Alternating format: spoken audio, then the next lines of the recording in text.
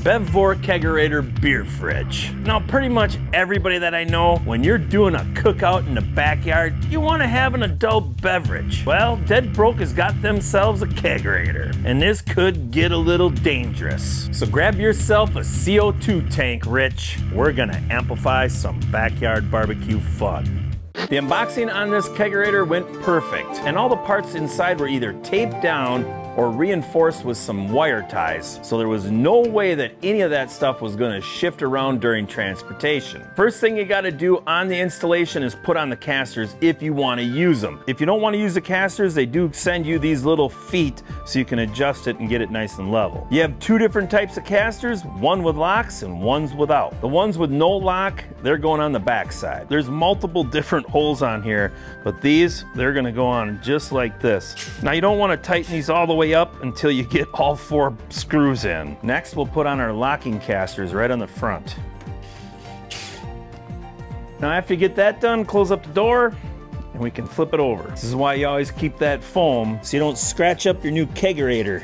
Get her put over and it's very light. You're not gonna hurt yourself with this. Gonna sweep up the floor a little bit.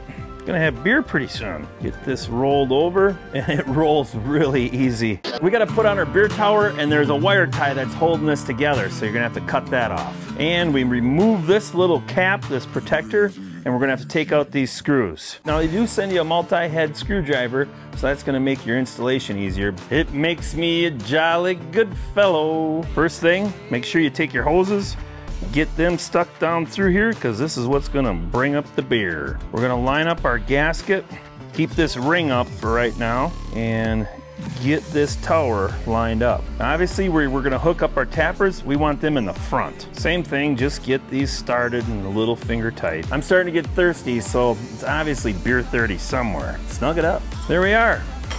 Put your ring back down because it gives it a nice looking finish. Grab your faucets and your multi-tool and make sure that you keep this around because you're gonna use it. Just line it up and it's pretty simple.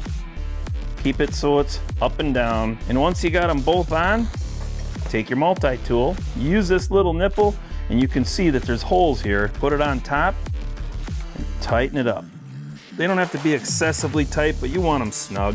You don't want no beer leaking out of there because that's alcohol abuse. Now just screw on your tapper handles and we're starting to look like a tavern already. Now it's time to put on our beer couplers and we want to make sure that we're hooking them up on top because this is going up to the beer tower. The side part, that's for the gas. So first we put on a hose clamp, then with the threads out, put on this nut and now you got to take your barb and get that started. Now this is gonna be a little stiff, so you're just gonna have to work it through. Then you can go ahead, pull your nut up, get your hose clamp up here, and then take the head off the screwdriver.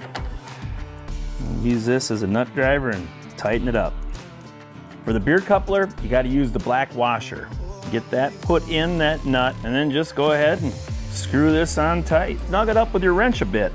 Now, because this one's a dual head, I'm just gonna repeat it. Grab your CO2 bracket and we're gonna hang that on the back. And it just hangs right on these four little screws. You're gonna have to purchase your own CO2 tank and that's pretty simple. Just go to a welding shop or a lot of places that fill up LP tanks they'll have these too, but you're gonna have to look around for it. And this just sits right here, and then just take this little Velcro, and then you can lock this tank right into place. Grab your regulator and your wrench, and let's put this on the tank. We're gonna wanna make sure you got this nice and snug. Grab your tubing and a hose clamp, and we're gonna put that on. Take off this little black cover, and we're gonna stick our hose all the way through we want to leave a little bit of an angle on it because we don't want it to pinch off. I'm going to have to cut off some of this tubing, but I want to make sure that I leave it long enough. Because we're going to be hooking up to these beer couplers, this is giving me plenty of slack. Now you can use a razor knife if you want to, or any type of tubing cutters. For this step, grab your T-joiner and another hose clamp. So first,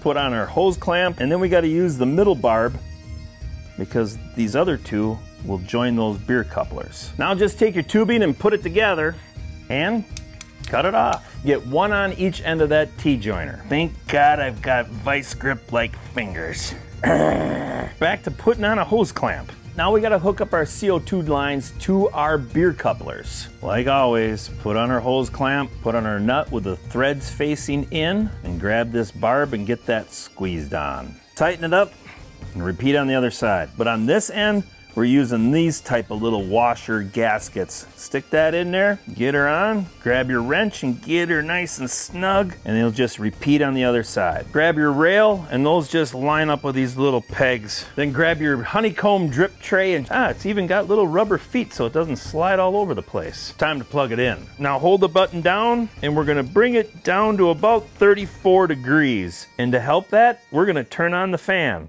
Let's go get some beer.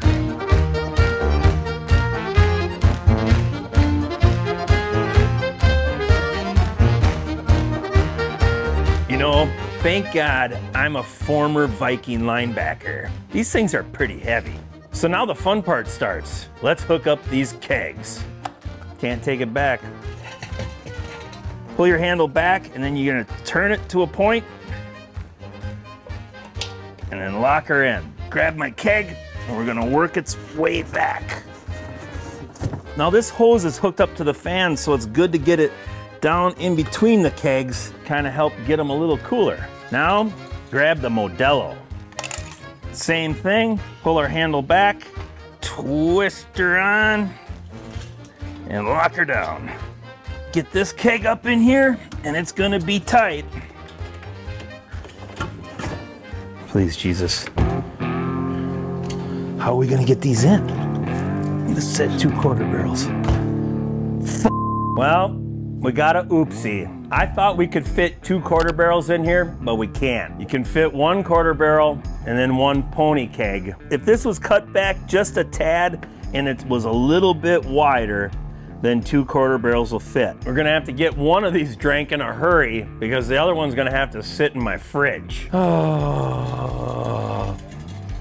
And now I can only have one choice of beer because of two inches. I'm sure a lot of you have heard that before, that you just came a couple inches short. So like they say, the show must go on. Let's open up that CO2 tank. First, we'll open up our valve all the way, and then we wanna dial in our pressure to about 10 to 12 PSI. So just right about there, we'll call it. And now we can just open this valve up and let our CO2 out. Now I might get a little bit of foam on this first pour because, well, it was in transport and who knows how much carbonation is actually in this beer or not. If that beer is hitting that faucet fast, it's gonna foam up. But let's pour a beer. Oh yeah, we are hot. Woo! We'll back it down a little bit, take a little of that CO2 off to about eight. Let's see if we get a little better pour. Oh yeah. Here's to good friends. Tonight is kinda special, the beer will pour. It's not the same brand, but still a great tune. All right, here we go. Get a little foam on the nose.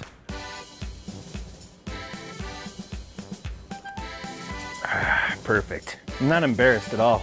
Now after the debacle, this thing got up to about 44 degrees, but it's cooling down. We're at 41 now. So it recovers fast. Now if you're looking for your very own kegerator, check the links below and that'll head you right over to Vevor's website. There's really nothing better than having a draft beer at home. Not because of Ronald Reagan, I couldn't drink until I was 21 years old. It's probably a good thing because us Vikings, we like our mead. Mm-hmm. Well, that's all I got. Roll the nation.